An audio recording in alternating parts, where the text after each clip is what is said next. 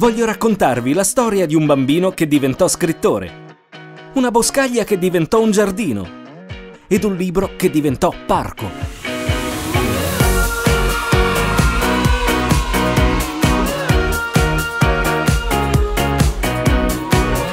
C'erano una volta e ci sono ancora. Venite a conoscere Pinocchio e la sua terra. Benvenuti al Parco di Pinocchio a Collodi.